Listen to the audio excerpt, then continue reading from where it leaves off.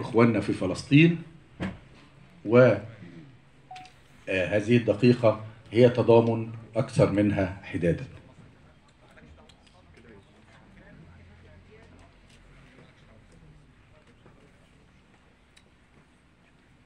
اتفضلوا